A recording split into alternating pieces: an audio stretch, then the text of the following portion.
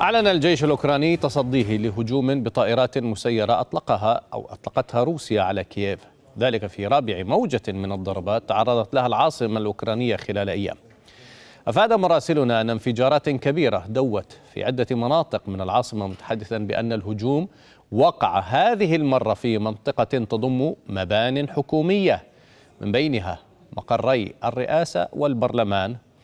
وقامت الدفاعات الأوكرانية بالتعامل معها.